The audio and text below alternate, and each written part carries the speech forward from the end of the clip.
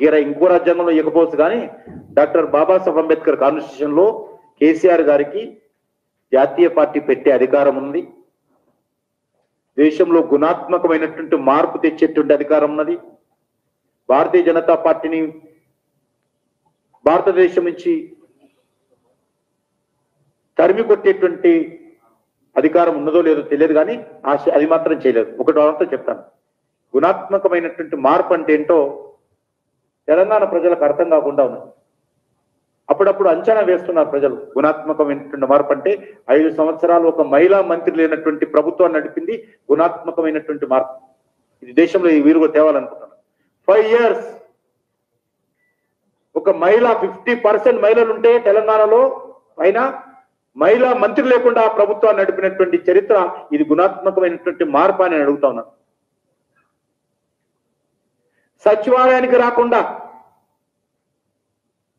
ఇప్పుడు సెక్రటరేట్ లేకుండా ఏడున్నర సంవత్సరాలుగా మీరు ప్రభుత్వాన్ని నడుపుతా ఉన్నారు. ఇది గుణాత్మకమైనటువంటి మార్ప.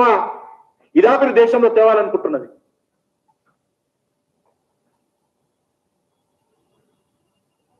మా ప్రధానమంత్రి గారు మన ప్రధానమంత్రి గారు విదేశాలకు వెళ్తే కూడా వచ్చిన తర్వాత జెట్ అందరికీ. అందరికి తెలుసు. అంటే అక్కడ కాల సమయానికి మన కాల సమయం తేడా ఉండడంతో వచ్చిన తర్వాత రెండు రోజులు రెస్ట్ తీసుకుంటారు. కానీ విమానం దిగి నేరుగా ఆఫీస్కి వెళ్తాడు ఈ ప్రధానమంత్రి గారు.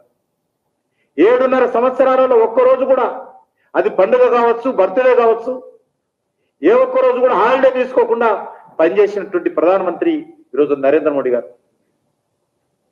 నరేంద్ర మోడీ గారు ఏం పని చేయడం లేదు వేస్ట్ దేశాన్ని పట్టినటువంటి పీడ ఇది ఆయన మాట్లాడతారు ఆయన గుణాత్మకమైనటువంటి మార్పు. సెక్రటరీ లేకుండా ఉంటాడు. అది గుణాత్మకమైనటువంటి మార్ప. మీరు ప్రెసిడెంట్ మీ కొడుకు పనిచేసే ప్రెసిడెంట్ అంటే వర్కింగ్ ప్రెసిడెంట్. ఈయన పనిచేయని ప్రెసిడెంట్ ఆయన వర్కింగ్ ఆయన కుటుంబ సభ్యులు మంత్రులు. ఇది గుణాత్మకమైన ఇదే దేశంలో తేవాలనుకుంటున్నారా? దేశంలో కూడా ఈ రకమైనటువంటి కుటుంబ పాలన కుటుంబ పెత్తనం తేవాలనుకోవడమే గుణాత్మకమైనటువంటి మార్ప? కుటుంబ పాలన తెలంగాణ సమాజం అంతా కూడా ఈరోజు వాళ్ళకు బానిసలుగా ఉండాలని కోరడం ఏదైతే దేశంలో కూడా తేవాలనుకుంటున్నారా? పదిహేను నిమిషాలు మీరు భద్రతా సిబ్బందిని పక్కన పెట్టండి. ఈ దేశంలో ఉన్నటువంటి వంద కోట్ల మంది సంఘం చూస్తానని ఈ దేశంలో కోట్లాది మంది హిందువులు నమ్ముతున్నటువంటి శ్రీరాముణ్ణి సీతను అవమానం చేసే విధంగా అసహ్యంగా హిందువుల మనోభావాలు దెబ్బతినే విధంగా దేశ సమగ్రతను సవా చేసే విధంగా మాట్లాడుతున్నటువంటి ఎంఐఎం పార్టీని భుజాన్ని ఎక్కించుకొని దేశంలో మీరు గుణాత్మకమైనటువంటి మార్పు తీసుకొస్తారని అడుగుతా ఉన్నాం.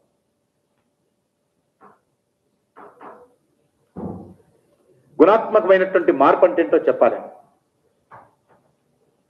ప్రజలకు అందుబాటులో ఉండరు. ప్రతిపక్ష పార్టీలను కలవరు. రైతు సంఘాలను కలవరు. కార్మిక సంఘాలను కలవరు. విద్యార్థి సంఘాలను కలవరు. మహిళా సంఘాలను కలవరు. ఇచ్చిన మాట మీద నిలబడరు. ఇది గుణాత్మకమైనటువంటి మార్పు అని అడుగుతాం వరదలు వస్తే రారు కరోనా వస్తే కనిపించరు. నిజాం లాగా పరిపాలన చేయడం కోసం. నిజాం లాగా పరిపాలన చేయడం ఇది గొప్ప పరిపాలన. గుణాత్మకమైన మార్పుతో కూడినటువంటి పరిపాలన నిజాం లాంటి పరిపాలన. ఈ మార్గంలో అందరు నడవాలా అదే గుణాత్మకమైనటువంటి మార్ప. దేశంలో కుటుంబ పాలన తేవడం కుటుంబ గుణాత్మకమైనటువంటి మార్ప. ముఖ్యమంత్రిగా ఆఫీస్కి వెళ్ళకుండా పరిపాలన చేయడం గుణాత్మకమైనటువంటి మార్ప. మహిళా మంత్రి లేకుండా ఐదు సంవత్సరాలు నడిపించడం గుణాత్మకమైనటువంటి మార్ప.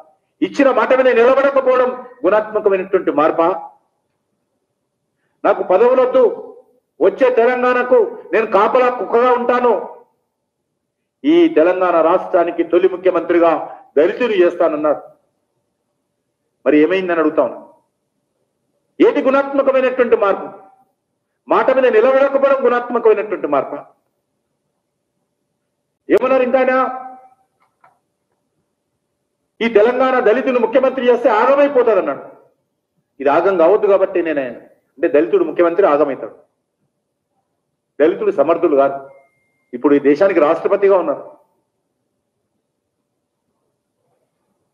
కాబట్టి దళితుడు ముఖ్యమంత్రి చేస్తా అని చేయలేదు. దళితుడు చేస్తే ఆగమైపోతుంది కాబట్టి నేనే ముఖ్యమంత్రి అయ్యాను నేను ఒకటి మాత్రం మళ్ళీ ఒకసారి అడుగుతాను. మీరు చాలా బాధ చేశారు కదా గుణాత్మకమైనటువంటి మార్పులు. తెలంగాణ అంతా కూడా ఈరోజు అభివృద్ధి జరిగిపోయింది. ఇక దేశాన్ని అభివృద్ధి చేయాలనుకుంటున్నారు కదా. కాబట్టి వచ్చే ఎలక్షన్లోనన్నా దళితుని ముఖ్యమంత్రి చేస్తారా చెప్పని అడుగుతాం కమింగ్ ఎలక్షన్స్ తెలంగాణ ప్రజలకు ఆ అప్పుడు ఇచ్చినటువంటి హామీ నిలబెట్టుకోవాల్సిందని నేను కోరుతాను వచ్చే ఎలక్షన్స్ అయినా దళితుని ముఖ్యమంత్రి చేస్తారా? చెప్పండి. ఎందుకంటే మీరు దేశాన్ని నిలవడం కోసం పోతామంటున్నారు కదా. దేశంలో గుణాత్మకమైనటువంటి మార్పు తేవాలనుకుంటున్నారు కదా? అంటాడు కిషన్ రెడ్డి అని మనకు ఒక కేంద్ర మంత్రి ఉన్నాడు ఇడికెళ్ళి ఆయన అంటున్నాడు కేసీఆర్ గారు గుణాత్మక మార్పు అన్నావు ఏం గుణాత్మక మార్పు అని అడుగుతున్నాడు. నేను అడుగుతా ఉన్నా కిషన్ అన్న తిరుగు. తెలంగాణ బిడ్డవైతే తెలంగాణలో తిరుగు.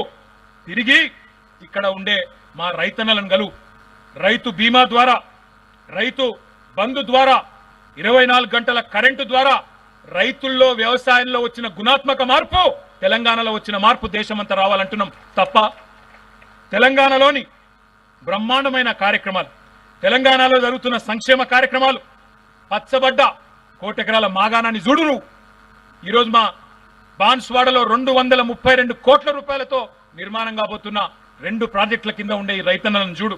అది గుణాత్మక మార్పు. ఇరవై నాలుగు గంటల ఉచిత ఫలాలు ఈరోజు రైతులకు ఏదైతే అందుతున్నదో ఆ రైతులను పోయి కలువు. వాళ్ళకి తెలుస్తుంది వాళ్ళని కలిస్తే తెలుస్తుంది. గుణాత్మకమైన మార్పు ఏందో.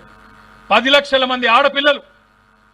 వాళ్ళకు పెళ్ళిళ్ళు చేసి లక్ష నూట పదహారు రూపాయలు ఇచ్చి ఆ కుటుంబాలను ఆదుకున్నందుకు వాళ్ళ ముఖంలో ఆ తల్లిదండ్రుల ముఖంలో సంతోషాన్ని చూసి తెలుసుకో. అది గుణాత్మక మార్పు అంటే. చేనేత కార్మికుల కళ్ళల్లో చూసే వెలుగు చూడు. మత్స్యకారుల ముఖాల్లో కనబడే ఆనందాన్ని చూడు. వెల్లువెత్తుతున్న పెట్టుబడుల వెల్లువ చూడు. పరుగులు దూస్తున్న తెలంగాణ వృద్ధి రేటును చూడు. అదేవిధంగా మా రైతు రెక్కల కష్టాన్ని కొనలేక చేతులెత్తేసిన నీ ఫుడ్ కార్పొరేషన్ ఆఫ్ ఇండియా దౌర్భాగ్య పరిస్థితి కూడా చూసి నేర్చుకో అని నేను చెప్తా ఉన్నా. ఇది గుణాత్మక మార్పు అంటే దళిత బంధుతో దళిత జాతిలో కనబడుతున్న ఆత్మస్థైర్యాన్ని చూడు. ఇది గుణాత్మకమైన మార్పు అంటే ఏం చేసిండు కేసీఆర్? నోటికొచ్చిన టొర్రుడు కాదు. ఇరవై నాలుగు గంటల కరెంట్ ఇచ్చిండు ఇంటింటికి నీళ్ళు ఇచ్చిండు. ఎక్కడ పడితే అక్కడ ప్రాజెక్టులు కడుతున్నాడు. తెలంగాణను కోటి ఎకరాలు కాదు కోటిన్నర ఎకరాల మాగాణం చేస్తున్నాడు. రాష్ట్ర ప్రజల్లో విశ్వాసాన్ని నింపిండు. పిల్లలకి అవకాశాలు కల్పిస్తున్నాడు ఉపాధి అవకాశాలు. ఇవన్నీ చేసింది కేసీఆర్ కాదా? దేశం లెక్కన ఉన్నదా ఈ పరిస్థితి? కాబట్టే ఈరోజు పక్క రాష్ట్రమైన మహారాష్ట్రలో వచ్చి మా విలేజ్లు కలపండి మా గ్రామాలు తెలంగాణ కలపండి అని వాళ్ళు అడుగుతున్నారు. రాయచూర్ ఎమ్మెల్యే కర్ణాటకలో మీఓడు బీజేపోడు ఆయననే మొత్తుకుంటున్నాడు. తెలంగాణలో అమలు చేసే సంక్షేమ కార్యక్రమాలు అమలు చేయండి లేదా మమ్మల్ని తీసుకుపోయి తెలంగాణలో కలపండి అని పక్క రాష్ట్ర ఎమ్మెల్యేలు కూడా అడుగుతా ఉన్నారంటే ఇది కాదా గుణాత్మకమైన మార్పు? ఇది దేశమంతా జరగాలని కోరుకున్న తప్ప ఈ మాట అంటే మళ్ళీ రేపు లొల్లి పెడతారు తిడతారు నాకు తెలుసు. నేను బాన్స్వాడలో ఉండే మా అన్నలు తమ్ముళ్ళు మిమ్మల్ని అందరిని ఒకటే కొడతా ఉన్నా.